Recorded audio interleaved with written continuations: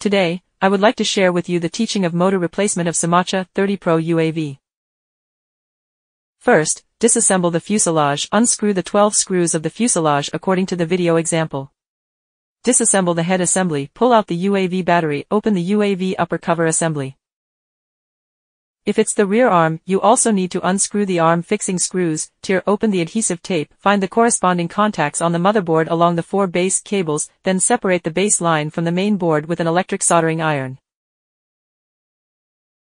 If the base behind you needs to remove three base lights and control lines, there are also 5G Wi-Fi antennas, dismantle the base, separate base active components, follow the video example to unscrew the base screw.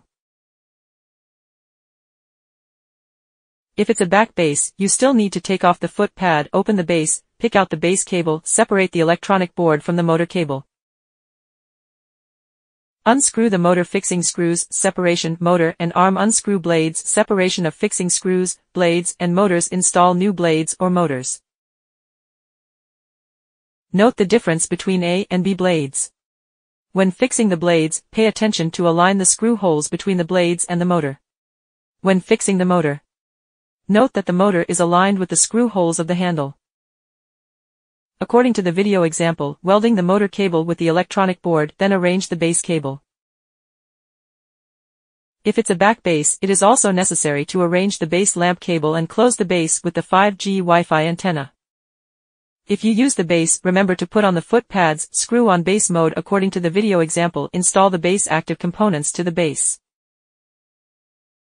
It should be noted that, after the base movable components need to face up with the same letters as the base, please install the base cable according to the video example, weld the four base cable motherboards according to the example diagram on the right.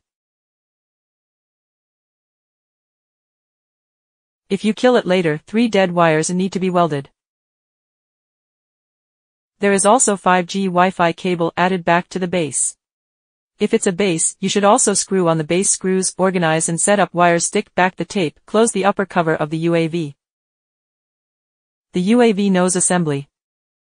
Screw 12 fuselage screws according to the video example, install the UAV battery and start the screen-to-screen -screen startup motor, the motor runs normally, maintenance completed.